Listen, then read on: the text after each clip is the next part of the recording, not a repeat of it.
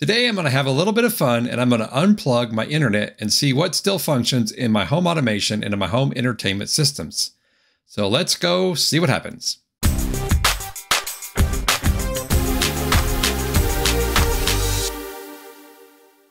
So I'm going to watch this in a few different ways. I've got a Home Assistant dashboard uh, and I've got a network monitoring tool that are both running right now.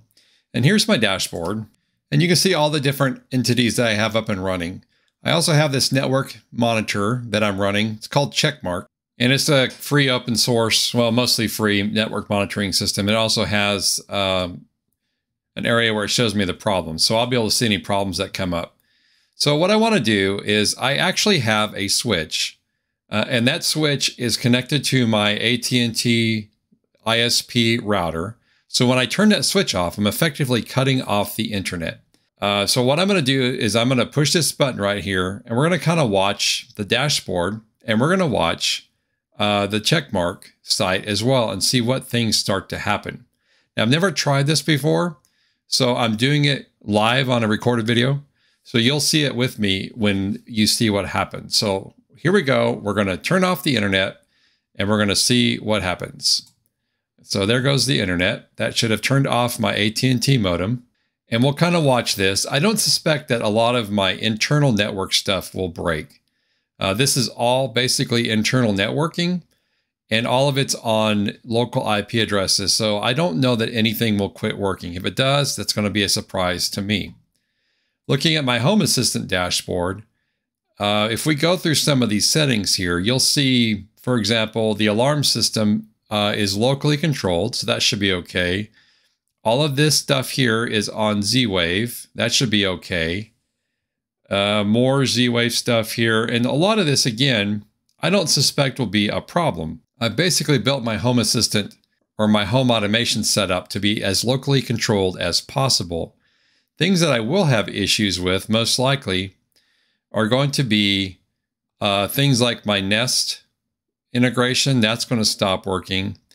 Maybe my Roku stuff. This is my entertainment stuff here. Uh, my water monitoring, which is a cloud-based service through Flume. And I don't know. We'll see. Some of my weather stuff will go away as well. The thing about it is, I may not know a lot of these things actually stop working until it's been a little bit of time being offline. I also used a service called uh, Uptime Robot. And the only thing I do with Uptime Robot is I monitor my external connection to make sure that is still up and running. So if all of my stuff is running inside my home network and my home automation and I lose connection to the internet, I may actually not know about it. So I use Uptime Robot to Uptime Robot to kind of keep me apprised of that. So let's go over here and let's check our local network topology. And I do see an alert here. Uh, it's not on my network list here, but it is something that's going on. And I forgot the light. Let me turn that light on too. All right, let me look at our problem dashboard. And we're getting a critical interface. And that makes sense. This is actually on my router. And my critical interface is now telling me that my ETH0 is down. My ETH0 is what feeds the AT&T modem. And so essentially it's saying that is no longer up and running, which makes sense. So for all of the items that I currently have in my network, uh, I'm only seeing one issue. Now this warning is because I'm running a 100 megabit port on a what used to be gigabit port. Uh, the device plugged in here changed, and this has been this way for a while, so this isn't an issue. I do see here now that I'm seeing issues with my mail. I did get an alert from Uptime Robot. See, now I'm seeing failed, okay, uh, failed notifications. And here's the reason why. When you start unplugging things, you don't really know what's going to break until you try it out. I run my mail server locally on my Synology NAS. And now that I've turned off the internet, I am getting no notifications. And this particular notification stuff that goes through my uh, my Checkmk actually goes through my Synology NAS and has to be sent outbound. My notifications are not going out. Uh, I did get a couple of notifications on my phone through my monitoring system. So let's see uh, what showed up there. I think those are messages. So I'm getting uptime alerts, uh, monitoring a couple of my services. That's obviously going to be a problem.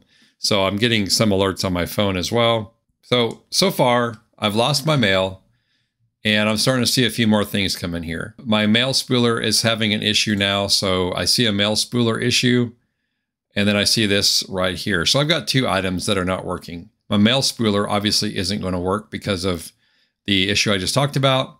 And then my port is down. So I've got that stuff going on right now. In terms of Home Assistant, uh, let me just turn on a light or two. Uh, let's click on this one. I can hear that click in the background. So I know that's still working. So all my Z-Wave stuff is still working.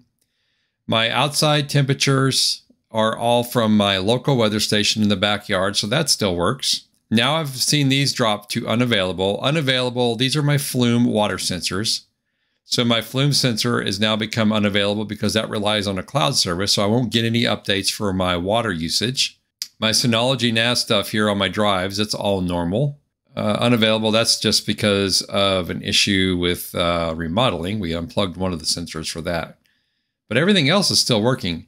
Now, I don't know if I would be able to set my alarm system right now be, through this because my alarm system uses a uh, service through uh, EyezOn Corporation and it's got a little EyezOn board. I could try it uh, and see if it works.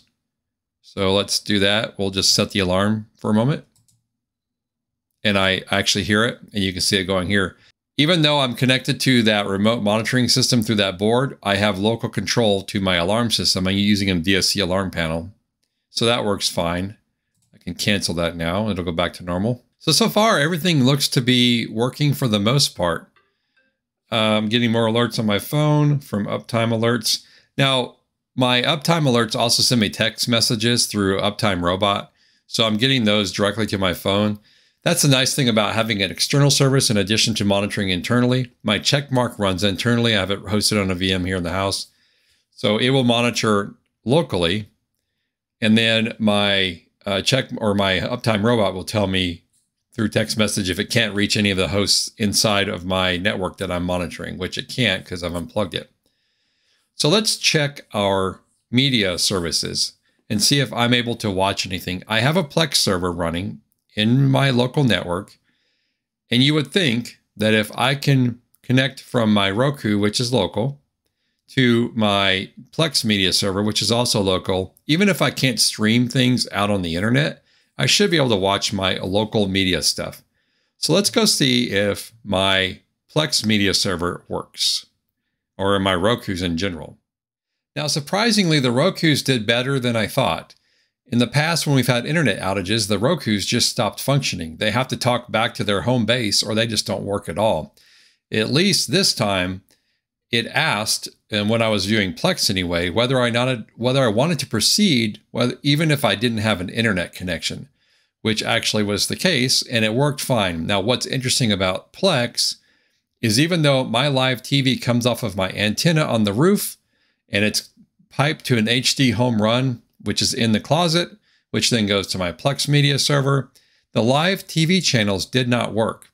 I don't know if that's because the HDHomeRun is broke uh, is affected by an internet outage, or if that just means that there's some sort of reporting going back from the HDHomeRun or from Plex for that matter to be able to do live TV. One assumption I'll make is that Plex has to have a Plex Pass subscription in order for live TV and DVR to work. And maybe because it couldn't contact its home base, it couldn't verify my account, and therefore I could not watch any live TV on my Plex. That's fine. I've got stuff recorded I could watch. If we had an extended outage, I could watch something else if I wanted some entertainment like that. Obviously, the streaming services, none of those work because we have no internet. One other thing I forgot to mention about this is that my smart speakers didn't work. When I went down to record and test the Roku stuff, I tried to turn on a light using the smart speaker and as soon as I said its name, it complains, says I've got no connection. Please check all your stuff, blah, blah, blah. So smart speakers are out. I also have a VoIP phone system. That is not working either. So let's do another quick check and see if anything has changed here uh, in terms of availability. And I don't suspect it will, uh, except for the weather. Weather's now no longer available. It's trying to check the weather from my National Weather Service add-on or integration. That's not working, and everything else here is still the same. This doesn't report that it's unavailable, but it's definitely unavailable right now. And if we took a look over here, do we have any more? Yes, we do. These are surprising, actually. I have lost my cameras and my access point in the garage. Now, all of this is tied together. So let's look at the network map. Well, the network map does not show that it is unavailable. All of that is right here. However, looking at the problem dashboard, all of these are unavailable. Let's just see what the actual problem is. SNMP error, query timed out after four tries, uh, no unmonitored services found. Okay, nine vanished services. So all of these services on SNMP have failed. This is something that I find very interesting. And I'm going to have to dig in to figure out what this is because this should not fail. My local cameras should work just fine. So for some reason, the SNMP service is no longer working on these cameras. Let me just see if that's what's the problem with this other stuff. So my front porch camera, this one has a return time ping issue. So it's not even SNMP. So that's very interesting. So I've got something going on within my network. Even though everything is up, I'm seeing high return or latency problems on some of these devices, and I'm not really sure why that is. I'm going to have to dig into that. I find that very interesting because I don't know why my cameras would stop working. Of all the things, that is fully locally based and it shouldn't be an issue at all. Anyway, something's going on weird there, and I, am not sure exactly what the problem is, but we I'll need to look and see what's going on uh, with the cameras and whatnot. And if you ever want to play with Checkmk, it's kind of a cool thing. It's a little bit daunting to set up, but it is a neat monitoring tool and do a lot of neat stuff uh, and monitor a lot of services and everything for you. Let me run down what's not working right now. We don't have any connections to our um, our Flume monitoring, which is a cloud-based service. No Nest integration is working. The smart speakers have stopped working uh, phone has stopped working. All the streaming services are not working. Plex Live TV uh, with my local off air stuff is not working, even though I can watch Plex and other things directly from my uh, storage. For the most part, my home automation stuff works, and I can do everything I need to do short of just entertainment and convenience. The smart speakers are convenient. There are some announcements that come in on the smart speakers, but I also get those through other means on my Home Assistant app. Speaking of the app, let's look at the app and see how that's functioning. Um, I typically will show or mirror the app using a little um, program that I run, and apparently the program doesn't work when the internet's down, which makes me think that, that program has to talk home to its whatever, its servers too. So uh, there you go. I mean, the screen mirroring tool I don't know what this means, but the screen mirroring tool that I use isn't working. And I wonder if that's completely related to, to the internet outage. That would be pretty sad. So anyway, I'm going to close that and not worry about that right now because something's wrong with it. So on the app, we can see that things are happening on the app. So there's my new dashboard. Uh, because I have my local network uh, set or my local um, URL set for this app. This is the Home Assistant Companion app. It will go to the local setup or local URL. So it's not trying to make connections. Now, obviously, this won't work outside of my network, but it will work here. So, um, yeah, everything looks to be working just fine. All my apps and everything are running. If I turn on a light, uh, let me find a light. Yep, that works. Let me turn on a bunch of lights. There we go. Groups of lights work. Um, groups of lights turn on there. And everything's fine. So I think that the app works just fine, even with the internet not working. So I think that is great for reliability on the app. All right.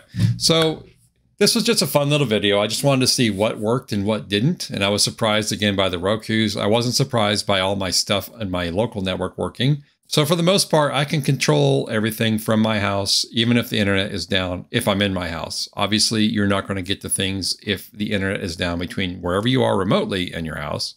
But for the most part, it works. So I'm pleased. Um, maybe every once in a while run this test for yourself and see if your home automation, your smart home will function once the internet is turned off.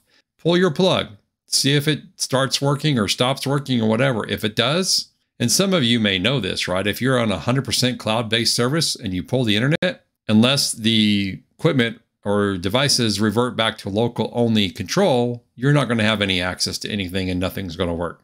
So keep that in mind when you're designing your home automation setup, what products you use, what connections you make, and what's important to you that must still function even if you have no internet. Thank you for watching. Thanks if you're a channel member, I appreciate that. That really helps support the channel. Uh, subscribe if you're not a subscriber, and let me know if you have any comments down below. Thanks for watching, and we'll see you on the next video.